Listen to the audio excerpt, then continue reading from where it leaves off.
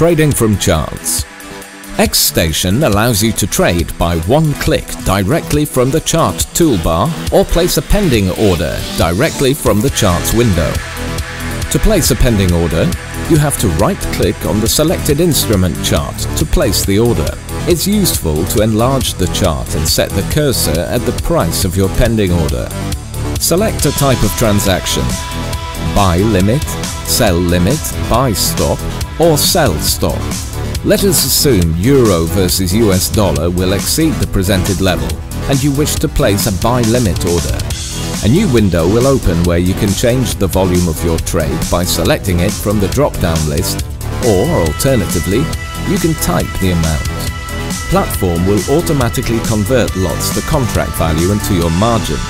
Moreover, you can modify trading options such as open price, add stop loss or take profit, which you can also see expressed in pips and your currency. And on top of that, you can set an expiration date for the order. When everything is set, just click Place Order and confirm. The deal was successfully executed and is displayed in Pending Orders tab in the trading portfolio.